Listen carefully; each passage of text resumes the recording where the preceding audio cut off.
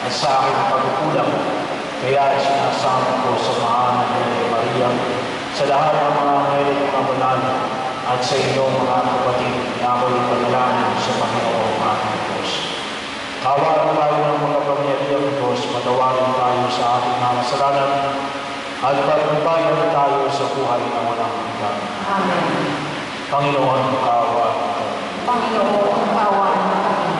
Kristo, kaawaan ka. Kristo, kawan kami. Panginoon, kaawaan ka. Panginoon, kawan kami. Ama namin, Panginoon Yeso Kristo, ipinakita mo ang iyong lakas sa iyong pagparitan upang sa pababa bandang pangamin dahil sa aming pagsuway, kami malapagin mong hanguin pakundangan sa iyong pagtingang at kami pagkitapagin mong palayain pakundangan sa iyong pagligtas. Kasama ng Ama at Espiritu Santo, magkasama lang hanggan. Amen.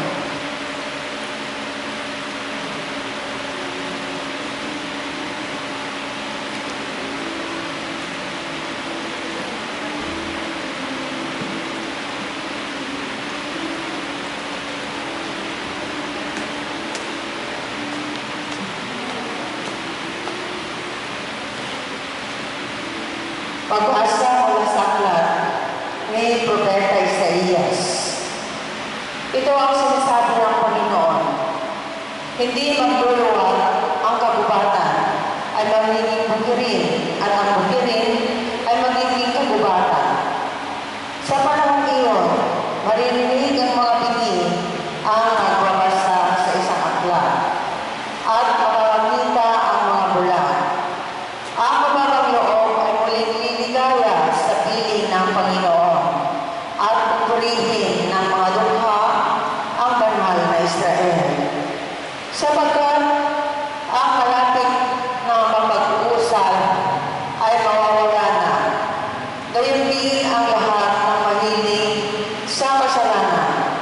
Lilipulin ang Panginoon ang lahat ng naninirang puri, mga sinungaling na saksi, at nagtatawid ng katarungan sa mga matuwid. Ito ang sinasabi ng Panginoon, ang Diyos na tumubos kay Abraham tungkol sa bayanan ni Jacob. Mula ngayon, ang bayan ito ay wala nang dapat ikahiya o ikatakot na.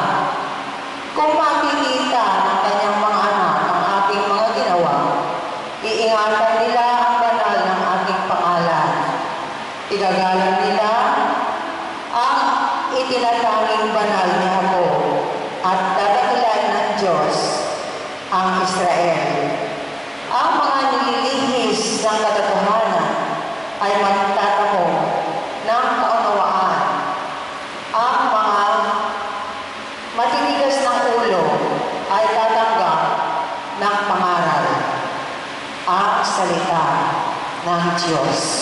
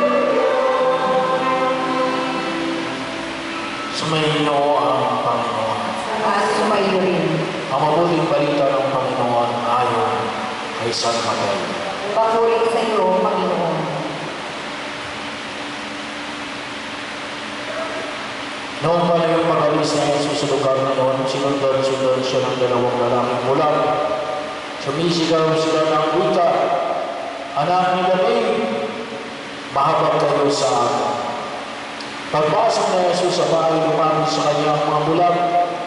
Tinanong sila ni Jesus, naniniwala ba kayo na magagawa ko ito? Opo, Panginoon, sagot nila. At hinipo niya ang kanilang mga mata at sinabi, mangyari sa inyo ayon sa inyong paniniwala. At nakakita na sila. Mahigpit na ipinagbilin sa kanila ni Jesus na huwag sasabihin ito kanino man. Ngunit nang sila'y makaalis, ibinalita nila sa buong lupain niya ang ginawa sa kanila ni Jesus. Ang mabuting balita ng Panginoon. Pinupuri ka namin, Panginoong Heso Kristo.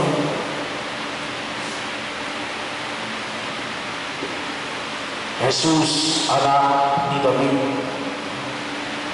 Ito yung sigaw ng dalawang lalaking ulam na humihingi ng tulong kay Jesus. Anak ni David, mahabag kayo sa amin. Well, kilala po natin si David, ang tinutukoy na David na ito, bagaman hindi taray ni Jesus si David. Alam natin na ang tatay ni Jesus ay ang amang nasa langit. Hindi rin si San Jose. Si San Jose ay kamain ni Jesus. Si David, ay alam natin ni David na tinutukoy nito ay walang iba kundi si Haring David. Isa sa mga ah mahalagang hari ng Israel. Ito po ay pangalawang hari ng Israel. Pero sa kanya lumawa ang bayan ng Israel. Nung nagpunta po kami sa Holy Land, kami pumunta sa isang lugar na tawagin ay libingan ni David, ni Hari David. Maliit na lugar. Maliit lang na lugar. Kalimitan po ng mga lugar na yun doon sa Israel, maliliit. Kahit na po simbahan, maliliit. Maging bahagi yun kung saan ay ah, pinupuntahan. Maliit lang po sa Jerusalem, kung mapansin po natin. Pero maliit na bahay, kalimitan ng bahay ng mga bago. So nandun yung uh, pinagbibigan, ang kinikilalang pinagbibigan ni Hari David. Maliit lang na lugar. Puro po ay isang kwarto lamang. At nandun pinagdadasalan, pinagdadasalan ng mga Hudyo, yung libingan ni Hari David. May mga nakatoka na nagdarasal, palit-palitan sila. Yung isa sa mga tinuturing na mga dakilang hari ng Israel. At yung title na anak ni David ay isang title na kung tawagin mo natin ay Messianic title. Ito yung titulo na ibinibigay. Isa sa mga titulo, kasi maraming titulo, ang ibinibigay doon sa Bisaya. Iminihintay na mga paglindas ng bayang Israel. At isa na rito ay ang titulo na anak ni David. Kaya po, itong dalawang bulag na ito, itong dalawang bulag na ito, ay may bahagi na ho ng kanilang pananampalataya. Kasi bakit? Hindi lang na nila tinawag si Jesus bilang Jesus. Ngunit tinawag nila si Jesus bilang anak ni David. Na kung tusin ko ay titulo ng isang Mesiyas. Titulo ng tagapagligtas ng bagong Israel ang titulo ng tagapagligtas ng sanlitakpan. So ito yung titulo na ginamit nila Jesus. Mahabag ka sa akin. Pero alam ko natin na ang ulan 2,000 years ago ay isang ah pagpapagaling ito ay ibinuturing na pambihira kahit na ngayon sa makabago nating teknolohiya hindi lahat ng bulan ay pwedeng mapagaling. May mga bulan na tawagin natin ay hindi na kaya pagalingin, hindi na pwedeng makakita. Irreparable. Pero mo 2,000 years ago, dahil sa kawalan ng teknolohiya ng kapanahonan na yun, ay tanging milagro lamang ang pwedeng maging dahilan ng kanilang kagalitan. Kaya nga, yun yung kanilang binubulog kay Jesus. No? Kaya may kaakibat na kagad ng pananalig para sa dalawang bulan na ito. Sa pamagitan ng pagsangkit ng titulo ng pag-iisang Mesias. Anak ni David, mahabag mo kayo sa akin. Pero si Jesus, gusto niya makasigurado. Kaya tinanong niya, kasi baka kasi naririnig yung dalawang ito na maaaring nababanggit lamang ng ibang tao no? Kung sino siya. Kaya sinigurado ni Jesus, anong ginawa ni Jesus? Tinanong, tinanong mismo ni Jesus yung dalawang bulan. At anong tanong niya dito sa dalawang bulan? Sabi niya po rito ay maliwanag na ibinamanig ng ating Panginoong Yeso Kristo. Sabi niya ay naniniwala pa kayo na magagawa ko ito? Kaya binigyan ng pansin na Jesus, alam niya eh. Alam niya na pwedeng ito lamang ay binabanggit ng mga bulan na ito gawa ng as an act of desperation. Alam niyo, misa ng taong desperado ay maaaring gawin niya o sabihin niya ang lahat ng bagay mapagaling lamang siya. Nang maaaring hindi sila nag-iisip. Kaya nais na Jesus na siguraduhin ang bagay nito. Kaya na mismo tinanong niya, ano ang sagot nila? No? Opo. Yun ang kanilang tugon. Opo, Panginoon. Kaya nga sabi ni Jesus, mangyari sa inyo ang ayon sa inyong paniniwala. Mangyari sa inyo ang ayon sa inyong paniniwala. Po, mahalaga na makita po natin na ang pananampalataya ay isang pananampalataya na magdudulot sa atin ng kabalitan. At sabi nga po natin, ito ay isang vicious circle na yung pananamig natin na magdudulot sa atin ng kabalitan. Ay alin, yung ating panalangin na magdudulot ng kabalitan ay nagparatag ng ating pananampalataya. Lalong pinagtitibay yung pananampalataya para magdulot ng kagalingan. Yung dulot ng kagalingan, lalo nagpapatibay ng pananampalataya. Paano yung pananampalataya ay magdudulot ng kagalingan? Kasi alam natin, na yung pananampalataya natin kay Israel, ang pananampalataya natin na pagsupil ng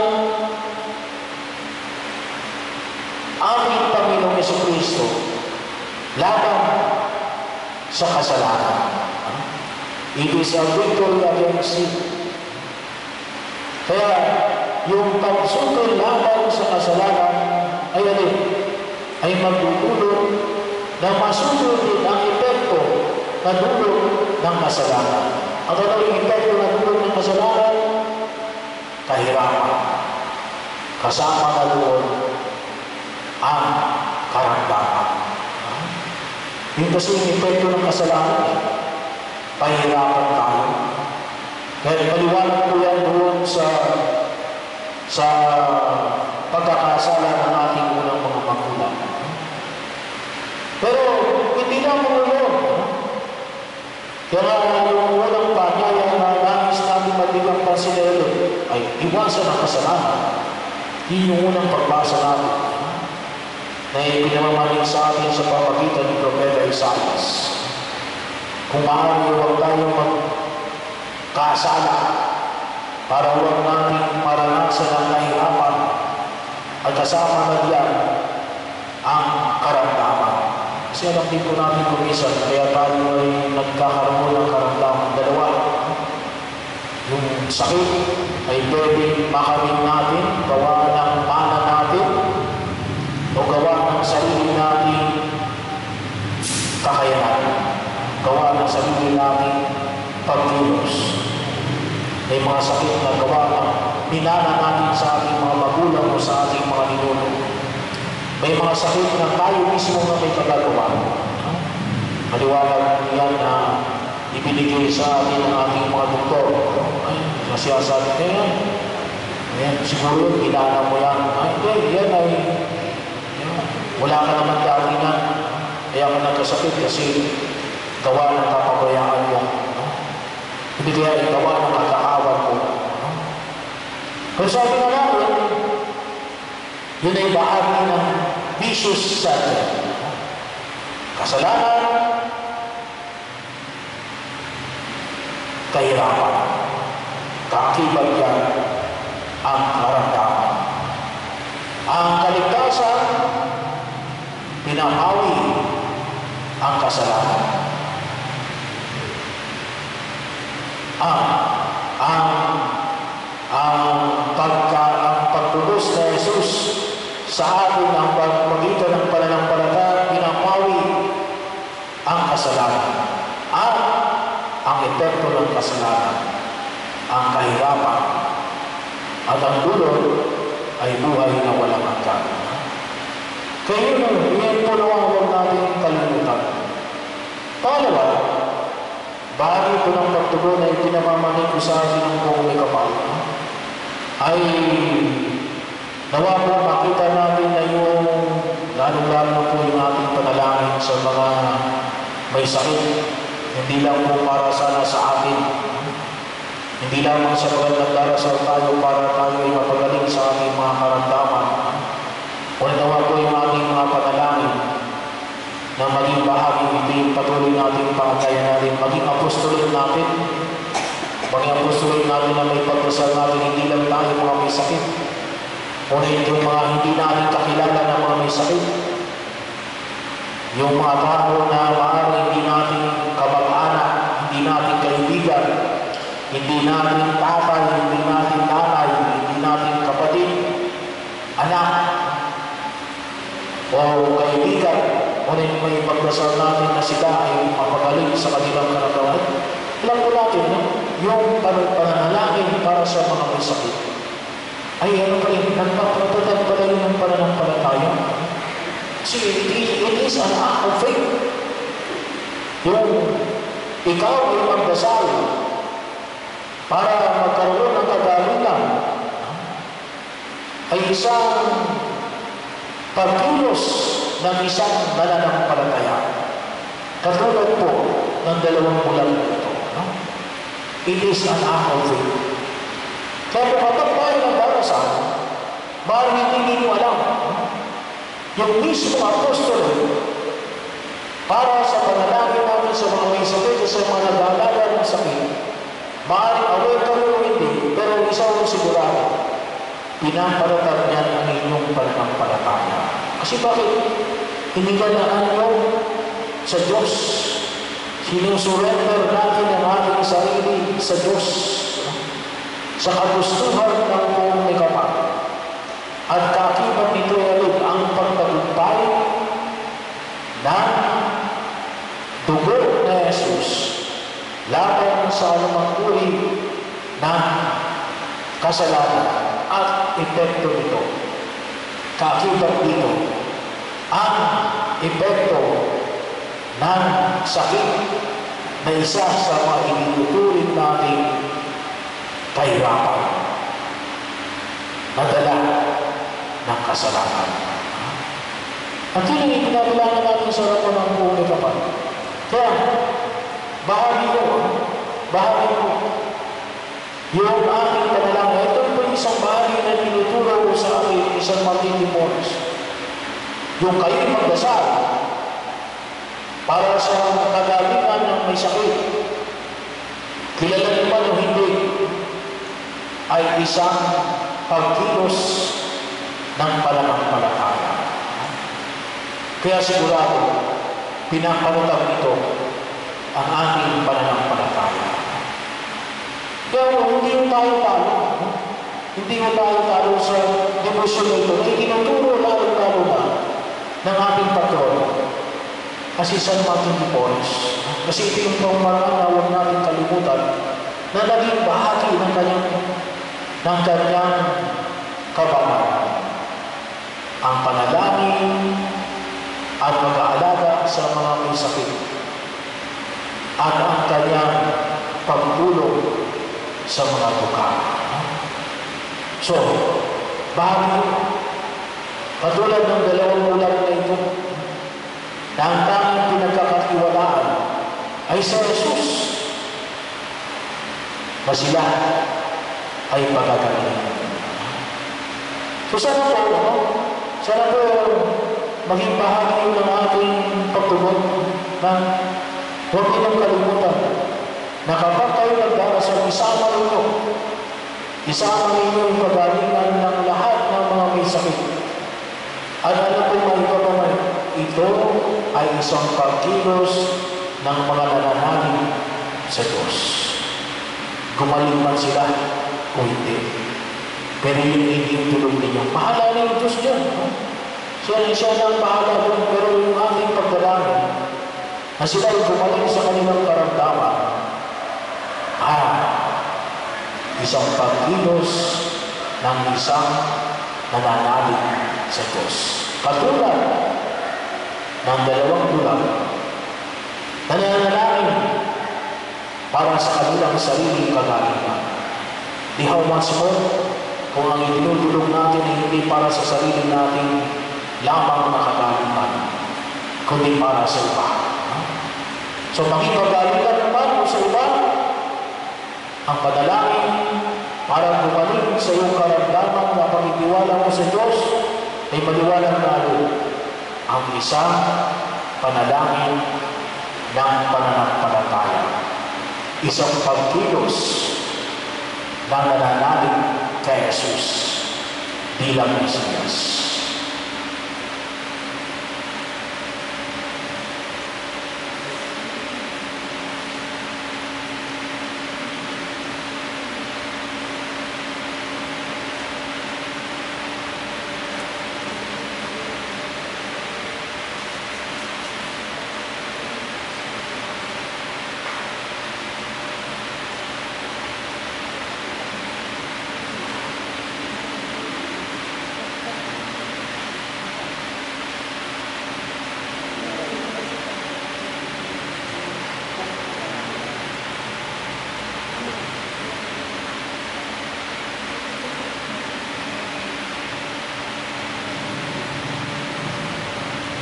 tayo nagkakalimod-limod sa kapangyarihan ng Espiritu Santo upang iwala yung banal sa ating mga nasa langit bilang kasalamat dahil sa malaking pag-ibig na ipinadama sa atin sa pamamagitan ng pagbibigay ng kanyang anak ang ating Panginoon sa Kristo. Sa kanyang anak, pinahayag niya ang marutong niyang pag-ibig sa pamamagitan ng sabisan ng kanyang puso. Samantalang inihanda ang pagbubugod ng ating mga puso sa kanyang pagkahandog ng sakripisyo ng Eucharistia tayo manalangin sa kanya para sa ating mga pangailangan at sa mga pangailangan ng bayan ng Diyos. Panginoon sa Kristo, iyong ipinangako na kung saan man ay dalawa o tatlo, nagkakatipon sa pangalan ng ikaw na sa piling nila. Halina sa amin na nagkakatipon-tipon dito upang parangalan ka ng iyong kabanal-banal ng puso. Punuin mo ang aming mga puso ng iyong pagpapala, biyaya at papaglingasin mo sila sa amoy ng iyong pag-ibig. O dakilang Jesus, hindi at pagkaloob ang aming mga kanilang. Panginoon sa Kristo, sinabi mo, humingi kayo at kayo bibigyan, umanap kayo at kayo makatatagpo, kumato kayo at kayo bubuksan, ipagkaloob mo sa amin ng mga magdaga ng aming pananampalataya, pag-asa at pag-ibig upang kami manatiling tapat sa aming ipinangako sa binyag hanggang kamatayan. O maibigin Jesus, hindi at pagkaloob ang aming mga kanilang. Panginoon sa Kristo, sinabi mo, lumapit kayo lahat sa akin na nahihirapan at ibigatan sa pasalin at kayo aking panginginawa. Kami lumalapit sa iyo ng buong pagtitiwala na ang iyong mahawaing pag-ibig ay pag-aangin angin ang lahat ng aming pasalong pagkaluluwa at pagkatawan. O butihin Jesus, hindi at pagkaloob ang aming mga kanilang. Manalangin tayo ngayon para sa layunin ng ba- bayan ng Iglesia at para sa bayan ng Diyos.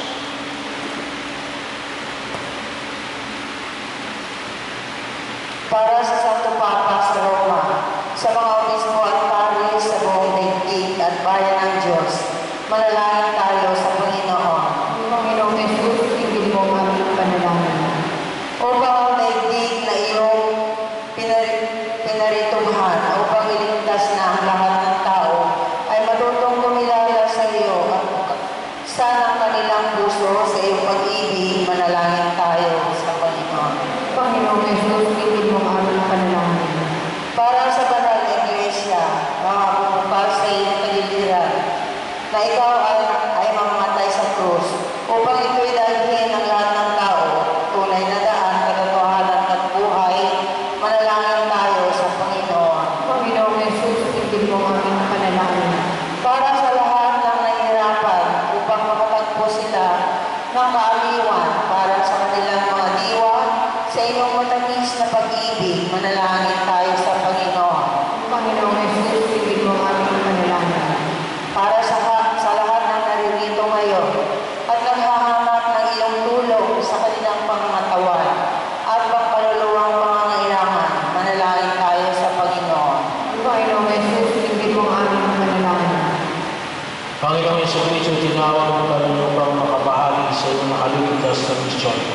Bagamat kami makasalanan, tinatanggap namin ang misyon ito at aming sinasaliwa ngayon ang aming mga pinangako sa bigyan.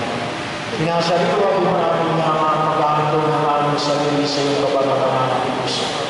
Inayali namin sa iyo ang aming mga sarili, mga mahal sa buhay o paglaan ng aming at aming ginagawa, ang lahat ng aming paghihirap upang makisa sa iyong panisikong pag-aandong sa aming mga nasalamat.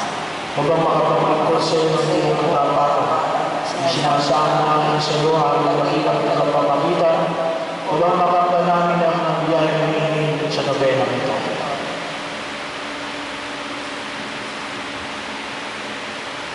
Kung ang aming kailiman ay hindi sa lalong kalulahati ng Diyos, para sa kabutihan ng aming kaluluwa, may pagalaw mo sa amin ang lalong ikasisiya ang iyong dakilang kabutihan.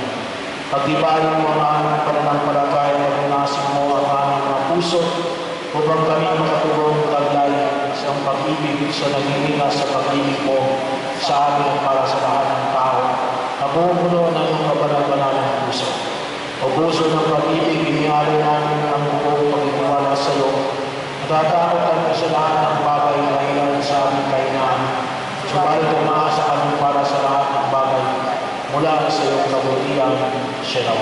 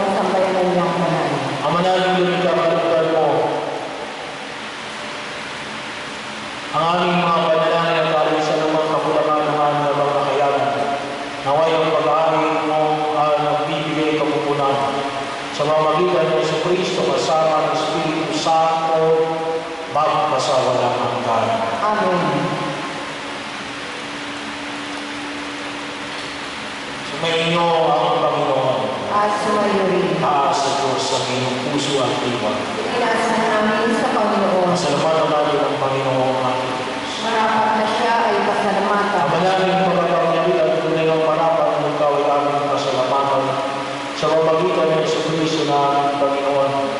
Sa mo upang matupay ang iyong para sa lahat.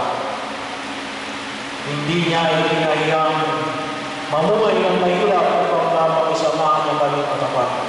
Siya naging hindi na iba sa amin upang sa iyong piling. Sa kanya nagparang ko yung pagating ang pag-isama ng puspusan na tumitin. Ang ang pangako ng kapanapanabik ay nasama ng lubos ng kakapit. Kaya kaisa ng mga anghel na nagsisiyawin ng papuriso ng walang humpay sa kalamutan, kami nagpupuni sa iyong kalamutan.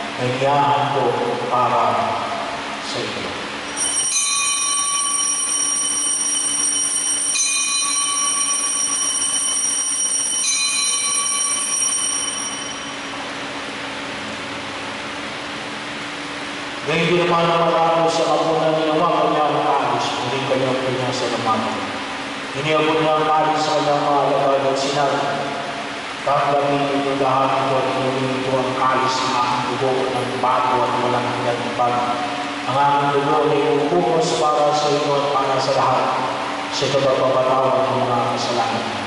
Gawin ninyo ito sa pag-aalaala sa akin.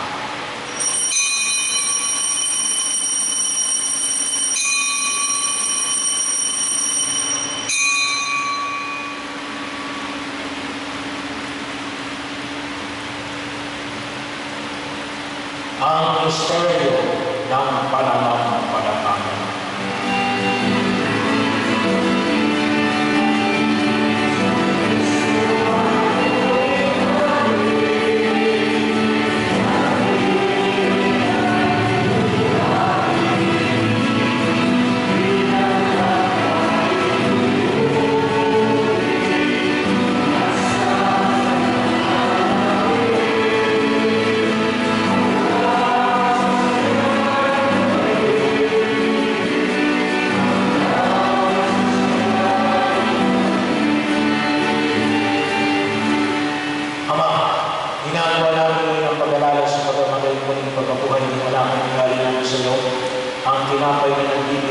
ito ang alis ng kakaloob ng kaligtasan. Kami nagpapasalamat at kami minarapat ang ngayon sa rapang para manapit sa iyo. Kaya sinasako namin kami magsasalo-salo sa katawan ng Tugon ni Kristo ay mapulot sa pagkakaisa sa pamagitan ng Espiritu Santo. Ama, lingalan mo ang isang pakalagalan sa buong daigdig at usin mo kami sa pag-ibig kay Sarah Francis ng Direventura at ang tanang kapalian. Alalahanin mo rin ang mga kapatid namin na hinday na may pag-asa sila muling mabubuhay kaya hindi na lahat ng mga kumalang. Kawaan mo sila at patuloyin sa iyong kaliwanagan. Kawaan mo pagkakapanin kami lahat ng mga salo sa iyong buhay na wakas. Kaya isa ang mahal na Birhen Maria nila ng Diyos, ni San Jose na kanyang esposo, ng mga apostol, ni San Martin ang lahat ng mga banal ng buhay dito sa daigdig ng kalulutugan sa iyo. May pagdiwang na wala ng pagpupuli sa karaman mo sa mamagitan ng wala na aming Panginoon Yeso Kristo. Sa pamamagitan ni Kristo kasama ng sa kanya lahat ng karangal pagpupuli sa iyo, Diyos ang makapangyarihan kasama ng Espiritu Santo 好。